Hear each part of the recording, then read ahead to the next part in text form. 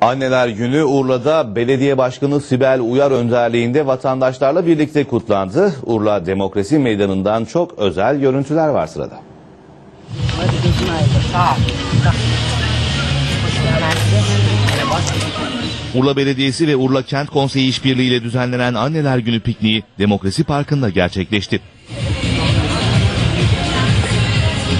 Müzik ve eğlencenin neredeyse hiç eksik olmadığı etkinlikte anneler hep birlikte piknik yapıp günün keyfini çıkardı.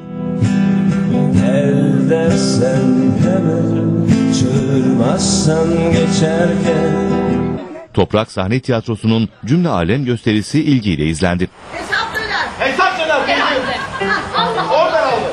Sizin yani kasap reyonundan aldım. Anneler ve anne adaylarıyla kucaklaşan Başkan Uyar tüm kadınların anneler gününü kutladı.